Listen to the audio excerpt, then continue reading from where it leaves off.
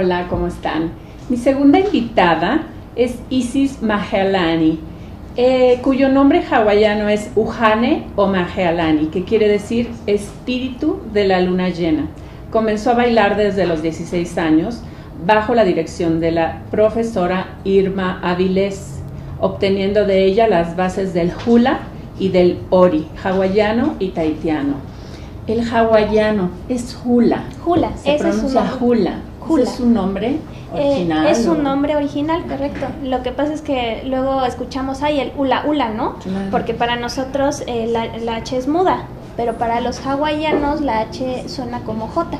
En tu currículum que me mandaste, me encanta el platicarles todo esto, porque quiero que sepan que Isis nos va a dar una, un baile al final de nuestra entrevista, porque ella tiene mucha inquietud en unir lo que es el hula y la espiritualidad, que va a ser nuestro tema de hoy con ella. Ella tiene mucha experiencia ya en este tipo de, de baile. Continuó sus estudios como bailarina e instructora capacitada de hula y ori, que consiste en el aprendizaje de técnica y coreografía, el manejo de diferentes instrumentos musicales para dirigir y tocar en vivo, confe- confección de accesorios y vestuarios y la habilidad de poder retransmitir el lado histórico y cultural de la danza aprendiendo el idioma hawaiano. ¡Wow! Isis ha participado en innumerables festivales, concursos, conferencias y presentaciones a nivel nacional e internacional. ¿Has estado también, Isis, en Hawái? Dos veces, dos veces, gracias a Dios, tuve la oportunidad de estar allá. ¿Fuiste a bailar? ¿Fue un concurso? Eh, la, ¿Qué primera, fue? la primera fue en 2007 a una competencia en el World Hula Festival. Y la segunda en 2009, que fue la graduación Sí, del que era mi maestro, y fui como solista también. Es el 18 de noviembre me dijiste, ¿verdad? Del año pasado. Eso, eso fue en Misaloja, eh, Ah. eso fue aquí en México, fue una competencia nacional. Ah, perfecto. También has tomado varios seminarios con maestros hawaianos y tahitianos reconocidos. En los últimos meses ha participado en diferentes programas de televisión y radio para difundir esta hermosa cultura junto con la técnica de la sanación por medio del Ho'oponopono. Actualmente es profesora del grupo infantil y juvenil Napua Kilaquila, con el que acaba de cumplir seis años. Bienvenida, me encanta el tema que, que escogimos. Bueno, Muchas gracias. Lo pensamos y dijimos, bueno, ¿cómo podemos hacer para, para que tú nos expliques bien ¿no? cómo ha sido tu experiencia a lo largo de todo este tiempo? ¿Cómo has llegado a esta parte de conectar ¿no? con tu espiritualidad? ¿A partir de qué llegaste ahí? Pues mira, yo creo que desde que empecé, porque el hula siempre he dicho que te llama. Es una danza que o una disciplina que no puedes decir, ah, voy a ir a tomar tal clase a ver si, si la hago y me empieza a gustar poco a poquito. No, o sea, te gusta desde el principio o no te gusta. Entonces es como un llamado también a, a- a esta, a esta parte. Y a mí me llamó desde los 16 años, me salió una alergia. La doctora me dijo, tienes que hacer algún algo. Y curiosamente a dos cuadras de mi casa pusieron un gimnasio, muchas disciplinas, que ballet, que esto. Yo desde un principio dije, hawaiano. ¿Tu alergia era nerviosa? Pues sí, Sí, ya ves que sí. todas las alergias tienen que ver con Claro. un rechazo hacia uno mismo. Era sobre la Sí, piel.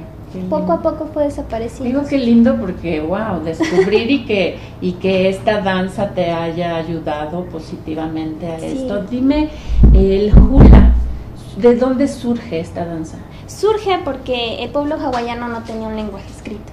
Entonces su forma de retransmitir la, la historia fue por medio de las danzas o meles, Sí. para que la gente pudiera este, tener pues la, la- la cronología de todo lo que estaba pasando. Se fueron creando la- el, bueno, el cajico, el baile antiguo, que es el más fuerte, el, el antiguo, como, como acabo de mencionar. Este, son rituales, son muchos rituales, este, es una conexión total con la madre tierra. Eh, todo lo que los hawaianos utilizan tiene un significado y una sim- simbología muy especial, sobre todo el cabello de las hawaianas. Cuando bailaban en el piso, al momento de caer, eh, de tocar tu cabello el piso, jalas energía de ella. Entonces, todo tiene que Y ver. todas lo tenían largo además. Pues empiezan desde que las meten a, a bailar desde muy chiquitas. este, es cuando, cuando les dejan crecer su cabello. Dentro de esto que me estás diciendo, ¿podríamos decir que tiene algún trasfondo místico o espiritual? Claro que sí, todo, todo lo que es el hula es un trasfondo místico. Todo, eh, desde empezamos a decir que es una meditación en movimiento, porque, y aparte es una terapia, terapia de introspección. Muchas veces vamos a un psicólogo, vamos a tomar una terapia y necesitamos ahogar, ¿no? O sea, desahogar nuestras, nuestras penas con alguien. Y esto es maravilloso porque no necesitas hablar. Tu cuerpo es el que habla. Cuando tú te conviertes en una bailarina, eres un eres tu espíritu, es el que está danzando, ni siquiera es tu cuerpo, hay un trance en ti. Por eso se considera una meditación en movimiento. Sí. Dime, uh, sé, porque he visto, porque me han platicado, que hay movimientos muy lindos. Dime algunos ahorita, ¿sí qué significan? Bueno, sobre todo ellos querían representar... El nombre y el significado. ellos querían representar los movimientos de la naturaleza, porque era lo que era su entorno. Por ejemplo, la flor, cuando tomamos una flor. ¿Es así? Sí, tomas, muy ligero. Sí, es como un capullo. El viento, ¿qué es esto? El agua, el mar, la lluvia y no, los nombres cómo son, ¿tienen algún nombre cuando oyes la música que están cantando? En, sí, sí, de hecho toda la música es, un, es un idioma, es un idioma porque es, olelo, así se llama, olelo, olelo es un nombre. Eh, es un idioma, y siempre lo, lo específico, lo puntualizo, porque dicen es que es un dialecto igual que el maya. ¿Es idioma o dialecto, dialecto? Sí, exacto. No, es un, es un idioma, es un idioma como tal. Porque tienes su morfología, su sintaxis, todo. Claro. Más movimientos, a ver, me gusta. Sí, no, claro. todo, el, eh, por ejemplo, cuando decimos que te quiero, te quiero, un abrazo, una caricia, este, todos los pasos. Hay uno muy hermoso que, bueno, a mí, el Julapaju, que es el más antiguo, que es con el, un tambor, ¿no? Sí. Eh, es una conexión directa entre el cielo, la tierra y que pasa por ti también cuando hacemos esto, que estamos este, llenando de energía nuestro eh, por el ombligo. Cuando hacemos estos movimientos. Qué lindo, me encanta. Dime, ¿cuál es la importancia de, que los hawaianos le dan a las palabras? Muchísima importancia. Ellos dicen que cuando tú hablas, puedes matar a una persona si haces una mala, un mal uso del lenguaje. Por eso para ellos es tan fuerte que lo que tú pronuncias. Te dicen, debes de cuidar todo lo que hablas, todo lo que dices, ser consciente 100% de noche de lo que estás diciendo. Porque definitivamente hay veces que cuando estamos enojados decimos cosas que, que lastiman, se quedan clavadas en tu corazón y, y ahí está. ¿no? Entonces los hawaianos es lo que dicen, sé consciente es de todo, de todo, de tu entorno, agradece, ama, comparte. Dime, estoy viendo tu vestuario es diferente a, los que conozco, tradicionales. Sí. ¿Por qué? Porque... ¿Qué significa este vestuario? bueno, cuando uno va a bailar una canción, tiene que ver su origen, o sea, de dónde viene ese baile, quién lo escribió, cuándo lo escribió, por qué lo escribió, qué es lo que dice, el año, de qué isla pertenece. Todos esos elementos tienen mucho que ver para tú poder confeccionar un vestuario, para poder decir, puedes usar un rojo, tal flor, este, eh, porque cada isla tiene flor, tiene un color en específico, y de ahí te puedes, este, como que tener una base para poder crear un vestuario. Dices que es diferente porque la mayoría de las personas creen que el hawaiano es la faldita de rafia, los cocos, el pareo, y el hawaiano este, es, es, es, otra, es diferente. Toda esta cuestión de los vestidos elegantes viene porque llegó la, la influencia europea y de ahí es cuando se toman estos, estos, estos tipos de vestuarios. Qué lindo. Dime, dentro de la información que me mandaste de las palabras, de todo este significado tan hermoso que tienen, ¿qué es el ja? El ja es tu espíritu. Es el espíritu. El espíritu, sí. Cuando decimos, por ejemplo, aloja, que es una palabra muy común, es dar tu espíritu, tu aliento de vida. El ja es el aliento de vida. Todo lo que viene de aquí, lo que sentimos, nuestro, lo que nos mueve, eso es nuestro ja. ja. ¿Hay alguna otra palabra que tenga un significado así también fuerte o pues importante? hay muchísimos, muchísimos. Si te los dejara serían... Pero cada parte, eh, cada parte del hawaiano, todo lo que decimos es impresionante. Por ejemplo, el, el simple hecho de tú realizar tu vestuario, estás imprimiendo tu energía. Este vestuario yo lo utilicé en el concurso del año ¿Tú pasado. lo hiciste? Eh, yo hice las flores, yo pinté las Tú lo flores. pintaste, qué lindo. Junto con mi maestra, ella fue la que me enseñó. Amigos, lo alcanzan a ver, a ver, súbelo un poquitín más.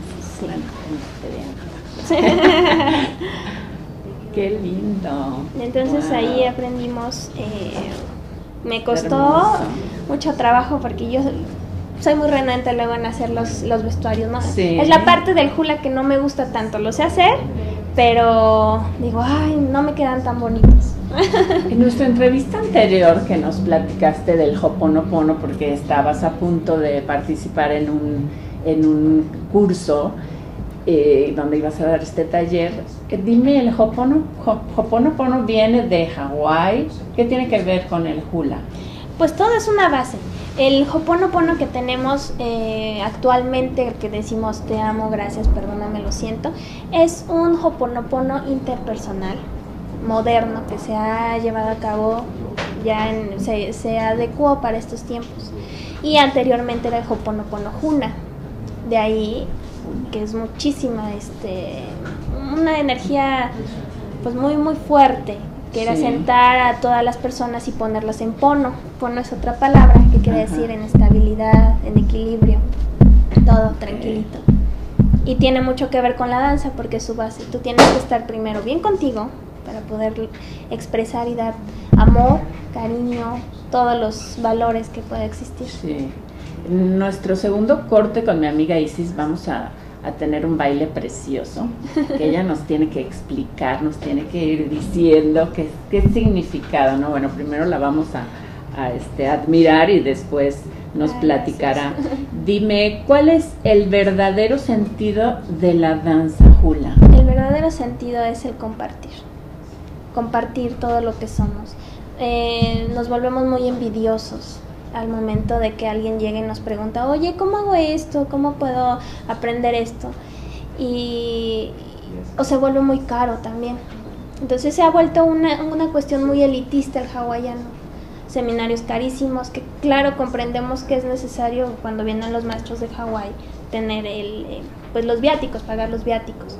Pero las personas que estamos aquí tenemos, si hemos eh, decidido eh, meternos a esta danza, tenemos que compartir y ayudar a que esto crezca en México. ¿no? Tú estás a punto de abrir un espacio donde vas a tener tus clases, Sí, primero Dios. vas a compartir esta... esta, esta cuestión. Sí, la, y estoy metiendo mucho hoponopono, mucha meditación. Empezar desde adentro, desde, desde uno, ¿no? No estar viendo qué están haciendo los demás, este, que puedo ir y compito con el otro. Yo siempre he creído que la competencia es con uno mismo. De ahí empieza. Definitivamente, definitivamente. Te agradezco. Vamos a ir a un corte y regresamos con Isis.